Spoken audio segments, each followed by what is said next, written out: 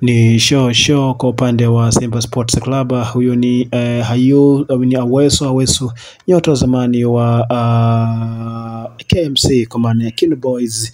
Ni nyota ambaye alihudumu ndani ya kikosi hicho kwa mafanikio ya makubwa tu, licha ya kwamba uh, kuwa katika kushinda uh, mataji, lakini aliweza kuisaidia timu kuweza kusalia katika uh, ligi kuu soka Tanzania bara, akiweza pia kuisaidia timu yake kufanya vizuri katika mashindano kaza wa kazi ambayo walishiriki, na tutamzungumzia kati ya wachezaji wenye kipaji kikubwa uh, ni Aweso Aweso. Huyu ni Zarastaman akiwa katika klabu yake mpya kabisa ya Simba Sports Club, klabu kubwa barani Afrika, klabu yenye historia kubwa, klabu yenye of course mahono makubwa, klabu yenye uh, vitu vikubwa sana. System around tuna tambua vema juu ya namna ambavyo Awesu Awesu atapokuwa atapokwenda pengine kutimiza uh, ile ndoto ambayo alipigania Simba kwa muda mrefu sana. This time around Awesu Awesu amekuwa ni kijana mwenye uwezo mkubwa kulisakata kabumbu akiwa na kikosi cha wekundu wa Msimbazi Simba.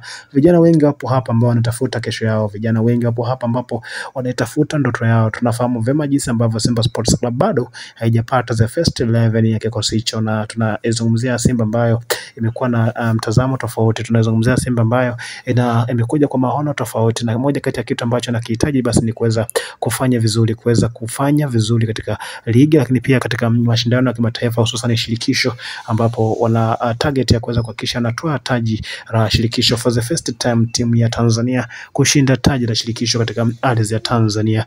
This time around tunamzungumzia mnyota uh, Aweso Aweso ambaye si mchezaji mbaya, ni mchezaji mzuri ambaye ameonyesha performance kubwa msimu uliopita. Alihusishwa pia na kutoa pale maeneo ya Jangwani, lakini haikuwa bahati kwa uh, wanajeshi au